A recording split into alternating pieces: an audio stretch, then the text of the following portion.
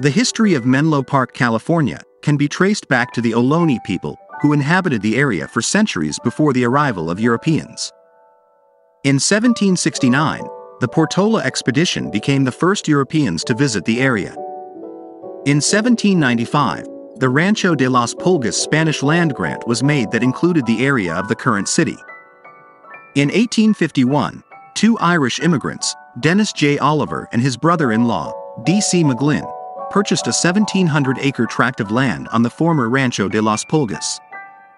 In 1854, they erected a gate with a wooden arch bearing the inscription, Menlo Park, and the date, August 1854, at the entrance to their property, now the intersection of Middle Avenue and El Camino Real. The original arch, which gave its name to the stations and ultimately, the city, survived until 1922, when it was destroyed in an automobile accident. The city of Menlo Park was formally incorporated in 1874. In the early years, the city was a small agricultural community.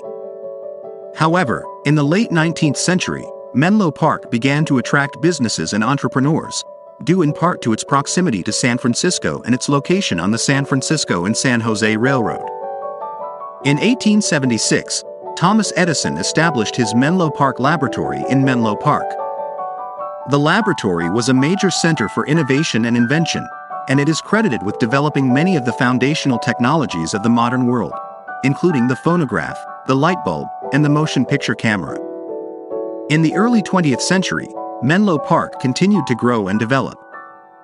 In 1917-18, a large portion of the city was the site of Camp Fremont, a training camp for soldiers during World War I. After the war, Menlo Park continued to attract businesses and entrepreneurs, and it became a major center for the electronics industry.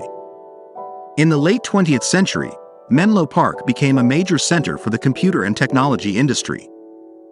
In 1946, the Stanford Research Institute was founded in Menlo Park. SRI was a major center for research and development, and it helped to spur the growth of the technology industry in the region. In 1984, Facebook was founded in Menlo Park. Facebook quickly grew into one of the most successful companies in the world, and it helped to solidify Menlo Park's reputation as a center for technology innovation.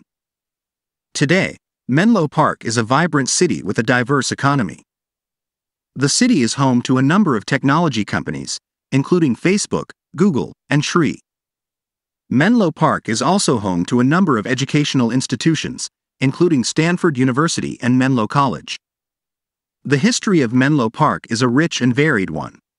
The city has played a major role in the development of the technology industry, and it continues to be a center for innovation and creativity.